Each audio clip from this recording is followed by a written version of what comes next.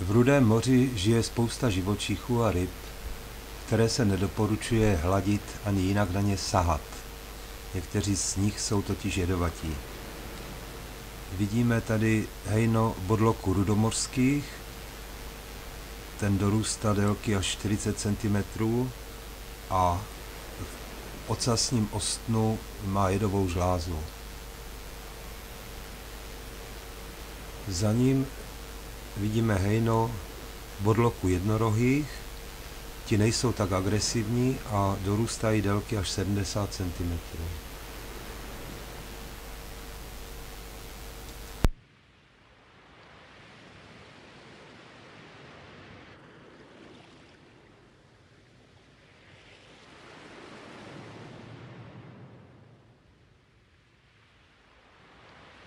Rybičky jsou klipky po česky, jinak tady se tomu říká butterfly fish. Butterfly fish.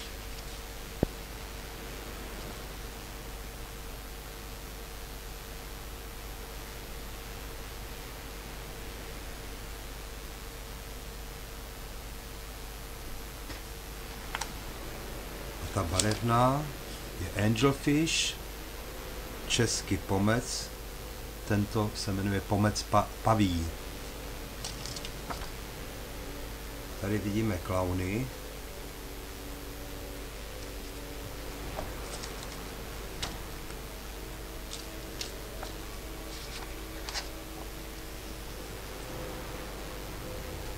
Jedná se o klauna dvoupruhého,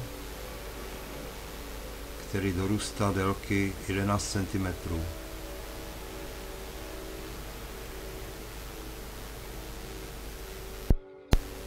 Tento druh není v Rudém moři původní, jedná se o pivomila jasnozřivého.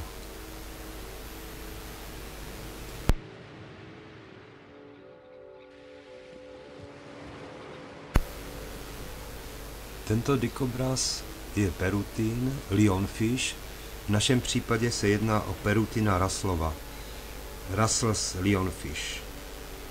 Všechny druhy mají jedovaté ostny a bodnutí vyvolává prudkou bolest a následovnou otupělost.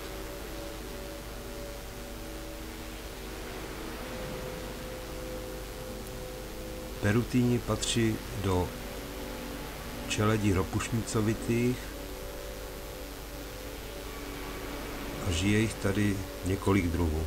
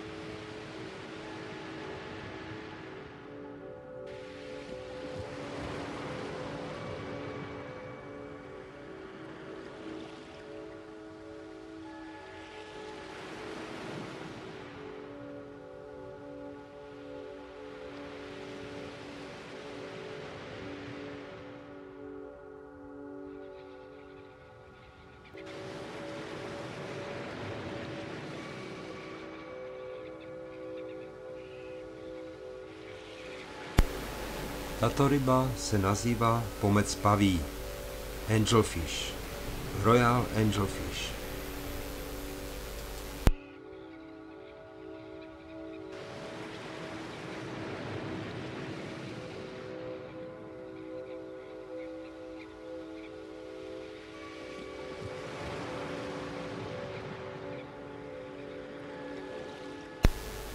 Další setkání s perutinem lionfish.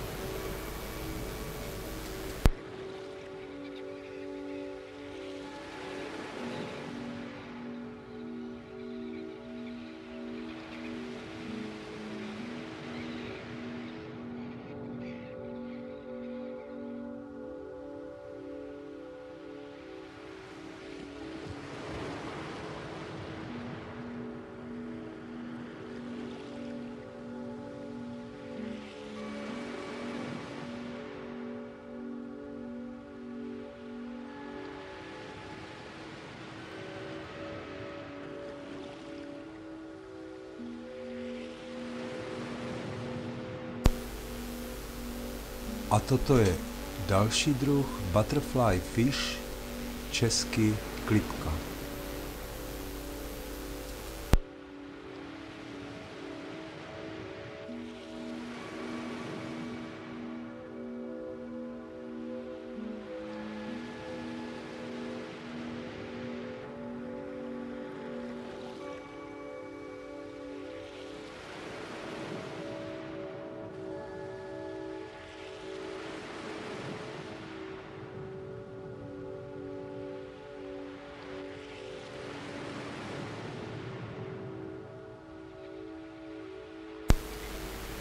Další z nepřeberných druhů butterflyů, klipka žlutá.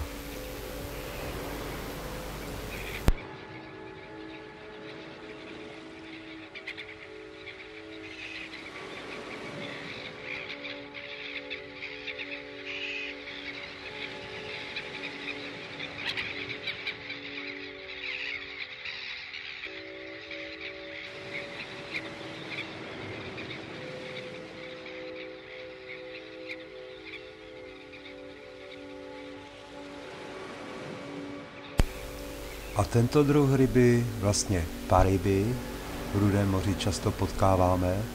Jedná se o trnuchu modroskvrnitou.